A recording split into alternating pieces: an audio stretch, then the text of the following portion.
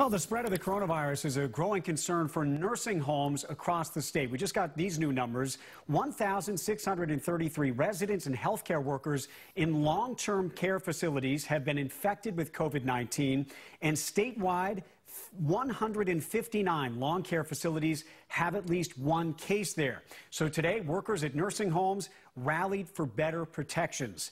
WBZ's Mike LaCrosse has the details from Worcester very worried because uh, the, the pandemic is, is very serious. Joseph Coombe is a nurse at a long-term care facility in Worcester. He and some of his colleagues stood outside their workplace in the pouring rain Thursday afternoon to call for more protective gear.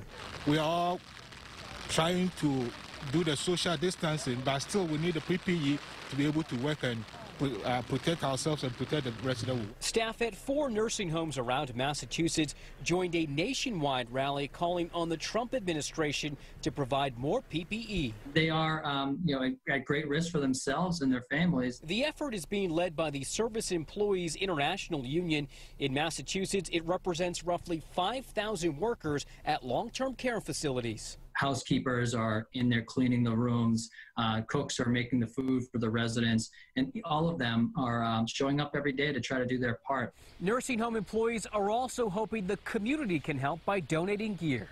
It is critical that we have access to PPE.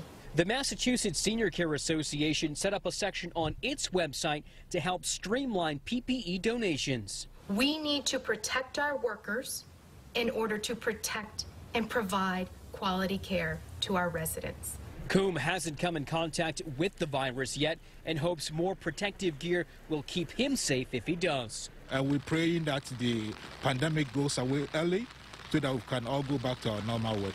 Reporting from Worcester, Mike LaCrosse, WBZ News.